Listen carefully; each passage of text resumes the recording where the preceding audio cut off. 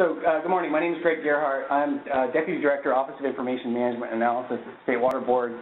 I've been participating off and on in this. Um, I'm sorry I wasn't here all day yesterday. I heard a lot of it in my office. I watched a lot. But what I wanted to do, and I approached some of the, uh, the team organizing this a few months ago, was to uh, practice, essentially. What happens a lot is people, you guys have been learning a lot of information and data has been collected over the last few years. Challenge is really how do you communicate that to people that are like me in my position, executive managers that they're waiting to hear that sort of nugget of what is it that I need to do, what is it I need to know, can I, do I need to tweak a regulatory program, how much is it going to cost, sort of what are the, what's the impact? So the idea of telling the story of pesticides is not new. Many of you have been on this pesticide storytelling treadmill, as many people have called it, for a long time. And so uh, I'm relatively new to this, so bear with me. I'm practicing telling the story of what I've been hearing over the last year or so. I've been in this position for a year. I came from stormwater program, by the way. So one of the things that was interesting to me was I came to the pesticide uh, story, so to speak, in my new job, and I was fascinated to learn all the stuff that had been going on in the background about about stormwater, but hadn't really been connected well to the stormwater regulatory program at the water boards. In fact, I was the statewide stormwater program manager, and I was amazed to learn things from the SPOT program. So this is my attempt to try to synthesize this down. This has been tried a few times, but um, really the challenge is uh, on you guys. So I know that you're you're here to sort of listen to what Greg Gearheart has to say, but the challenge is really on you guys uh, and all of us to sort of collect. This is a new age of, of data and information. So how do we tell the story with all these different streams of data? We got regulatory programs over here, programs over there, monitoring efforts that are like focused on their specific thing? How do you synthesize this? How do you tell it in a way that's meaningful? And what's the, what's the core message that you're trying to get to the people that are making decisions? So next slide, please. All right, so I want to acknowledge that uh, the SPOT program is the large contributor to this, and then uh, staff in my office, Michelle Tang, uh, John Marshak, and others have worked really hard on getting this to be an accurate story, but um, we've also relied a little bit on coordinating with the pesticide information uh, stream as well as data that's coming out of CEDEN. What I'd like to do is start adding names to this over, uh, over the next few months. So next slide, please. So you've probably seen this before. This is the results of the SPOT program. Toxicity in, in California is measured through that program, and it's essentially a, a, function, it's a trend program looking at different stations over time. And the, and the main message is uh, sediment toxic, uh, uh, toxicity uh, due to pesticides primarily. So it's sediment-bound toxicity due to pesticides. So this is a relatively um, uh, older looking slide. We're trying to update this too. So we're trying to get the data layers. How do you tell this story? So, uh, but the key message here is that the, the darker the colors, the more toxic stations over time. Next slide, please. And what the, the take-home message from this really is, next slide, sorry. Okay. Um, next, the take-home message is that there is significant toxicity occurring still in California at these stations. These are, uh, it depends on where you are, but the main story, depending on where you are, is going to be uh, pesticide bound uh, in, in, sediments, and agriculture is uh, providing a significant contributor to land use, as well as in the urban areas, you've got a significant contributor. Um, and the, the bulk of this is shifting from being uh, ag-based pesticide toxicity to now urban-based toxicity. And the story of the urban pesticides, as many of you know, is changing too. So next slide, please. So pyrethroids are um, probably the main uh, contributor to this result because what you're finding is that these are sediment-bound um, uh, pesticides. And so as you're looking at the toxicity in the sediment, you're going to find the ones that are bound to the sediment. Pyrethroids are the ones that are bound to the sediment. This is a trend looking at many, many years. Um, and there's also this sort of new shift of a force of regulation coming in where the, the use requirements on the pyrethroids is being um, hatcheted down. So the stormwater program has this urban responsibility shield that is trying to protect the waters in the urban areas from uh, pollutants, and primarily in this case uh, pesticides. But there's this other force coming in that is affecting the use, and the, the primary user is probably professional applications of pyrethroids. Next slide, please. So the storyline goes, as many of you know, that we've had a, a shift in the use of pesticides over the time. So uh, in the 50s and the 70s, we had the OCs, the organic chlorides, and the organophosphates, and then we started getting pyrethroids showing up in the earth in the 1990s. And then along the way, we've got these new and emerging types of pesticides that are maybe different fate and transport. They don't necessarily bind to the sediment as well. They might have different um, mechanisms and, and agents of toxicity. And so it's a changing storyline, and it's changing much more rapidly. As you can sort of see from the slide, there was slow change for many years, and then the re regulatory response reacted. We're now in a, in a, period of time where, because of data and information and because of new emerging um, chemical engineering techniques, there's going to be lots of, of new forces that are changing this. Next slide, please. One of the more interesting things that came out of the SPOT program, because as you know, the SPOT program has been uh, doing research along the way and, and asking themselves questions, but they've also, uh, in, in, addition to the trend analysis, is they started recognizing that some of these are not going to be um, sediment-bound uh, pesticides, and so they needed to start looking at different um, test methods. And, and, they also started wondering if the sensitivity of the of the organism was a factor. So they looked in these are agricultural stations, 2013 year. They looked at these uh, different stations and they did both a Hyalella and a chironomus test, and the percent survival was dramatically different. So clearly, with certain types of pesticides, you're going to get a different response. So as a regulatory manager, that makes you wonder, are you using the right methods? Are you using the right um, organisms? And so the take home here, next slide please, is maybe easier seen on this uh, graphic. But if you look at Tulare Creek, and then if you look at Oso Flaco Creek, the, the, the percent survival is dramatically different based on the species. So the, the gray front bar is the Hyalella, and the back is a chironomus, indicating that you've got a, let me see if I got this right, fipronil, right? Or a uh, neonic uh, storyline, or perhaps it's metals too. Okay, so then the reverse is also true, where you've got a couple of cases where Aliso Slough and Solomon Creek are probably pyrethroid storylines, right? So next slide, please. So then the other question that was asked of the researchers over the years was a test method um, factor of temperature. So if you look at the ambient temperature in most California streams these organisms where you're testing for toxicity, it's more around 15 degrees C. If you look at the standard uh, temperature for each day, 23 degrees C. So they did a, a, a bit of research to see what's the difference in running the same sample through the same organism with different temperatures, and the result was, again, pretty significant. So in the highly toxic cases, it's a four times difference in toxicity. So again, the regulatory message is, are we sure that we're reacting quickly enough with our methods to information that's flowing in? Um, I know that changing test methods is a, is a long and cumbersome process. Identifying the correct test method and organism for a new emerging uh, pesticide or chemical is um, long and arduous, but we need to maybe perhaps quicken the feedback loop. Next slide, please. Um, so this was supposed to be two boxes, but basically there's another bit of their research that they've been doing looking at what can help attenuate the effects of the, pest, of the toxicity. And they ran uh, a couple of projects where they had an urban area and an ag area, and they ran the, the discharge th uh, through an infiltration technique style best management practice. These are also known as bioswales or infiltration galleries or um, low impact development techniques.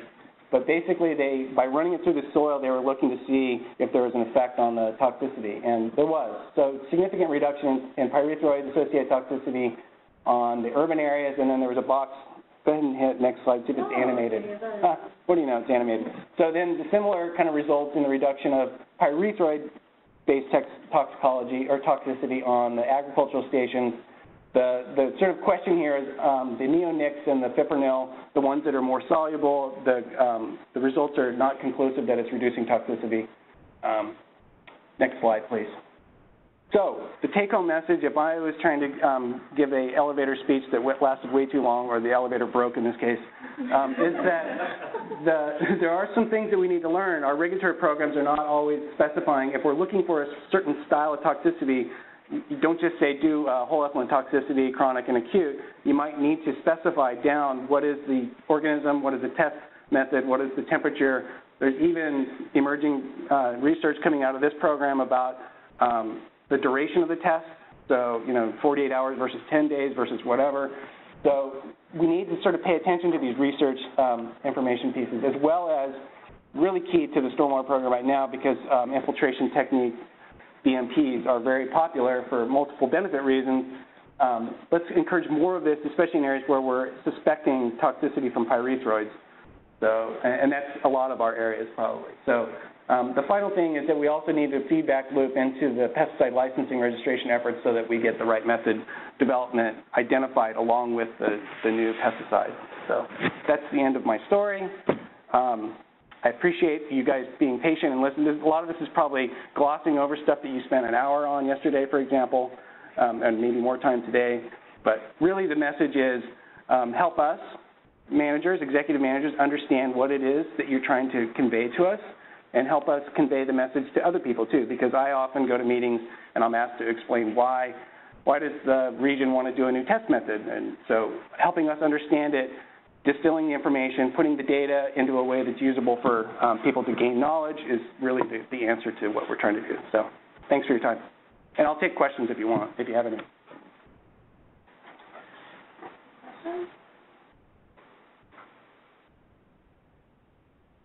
Are people using um, data visualization techniques in your day-to-day job conveying information? How many people use like a data visualization software to try to GIS. GIS? Any R, you know, like Tableau or Excel? Yeah.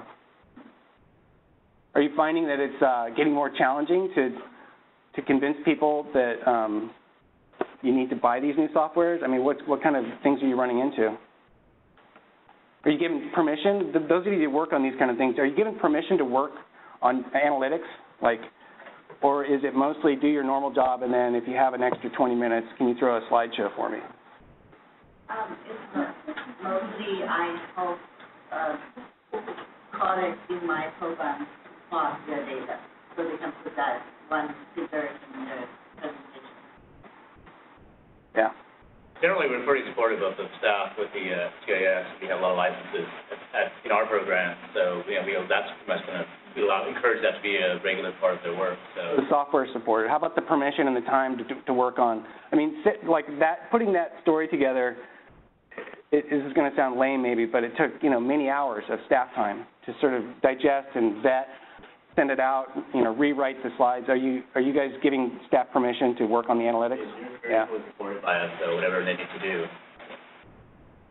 from my view.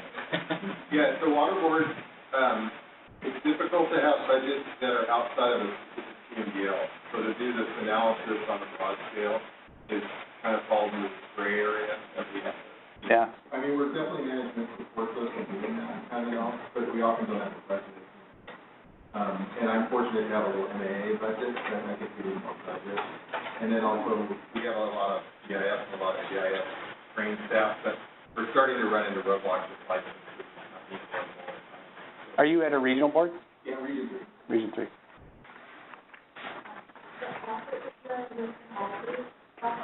They have something called Outliers Online, Uh huh. and they have a, uh, called, um, map, map story. So basically, I think that would be a good for the, because, uh, they map online. Like cloud-based map storytelling, yeah.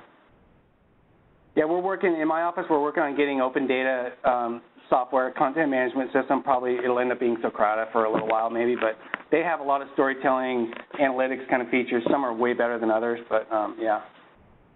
I'm finding it hard to get the staff um, knowledge, you know, trained up because thinking and analytics is really hard, especially there's so much technology involved these days with, you know, API writing and R code um, programming kind of stuff. It's not as simple as just plotting it on Excel anymore. All right, well, thank, oh, yeah. Um, so I have a question slash comment, which is related to, um, analytical work. Um, I agree that I think, um, you know, there are certain things that we know, so for example, the staff is going to talk about water quality objectives for Coyote Springs in Region Five, and they're using a freely dissolved portion, which is science, there's a scientific basis for showing that that's, um, a better approach for pyrethroid toxicity, similar to what you showed for temperature. But I see that there's a, a, a large hurdle in implementing that into policy because, you know, we have labs that we work with directly and we're always, you know, trying to improve methods for our needs. But when it comes to dischargers, that's a whole Yeah. other ballpark. So I don't know the answer to that, but I think that's a, a large barrier to implementing, um, better analytical Yeah, no, it's a great observation, and I've just watched in the brief couple of years that I've been watching the toxicity story in in California.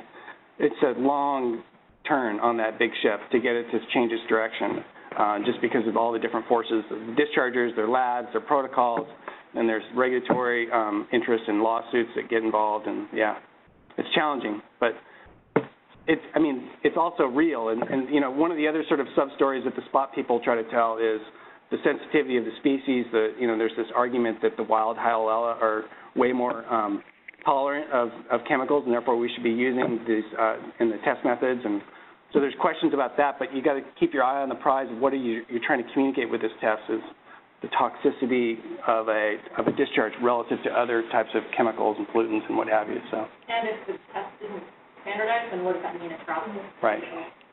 Deborah, you're, you're Yeah. You know, I, I sit and work with a lot of your staff, and I appreciate that. And a lot of this, this, have the storytelling, and I think what we need is more fact sheets, more of the, you know, memos. There's a, a memo that Lori Weber is preparing on the temperature issue. Yeah. So we have a go-to place. Here's the frequently asked questions. Here's the answer with the published response, you know, papers that we're all dealing with the same kind of stuff. So we can all level the playing field of having that information that we can share across these two agencies. That would, you know, very, give us at least some balance on this, I think. Yeah, I agree. And I think, you know, Deborah brought a storytelling um, trainer to have a brown bag with us from, it was the microbeads and the, and the pollutant, uh, it was a post-grad uh, fellow over at UC Davis. But there's skills to be learned, you know, obviously I still have some, and I appreciate you tolerating me trying to tell the story.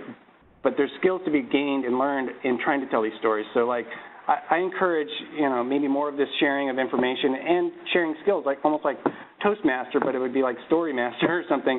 And we just practice getting up and sort of synthesizing data and communicating in a way that makes sense.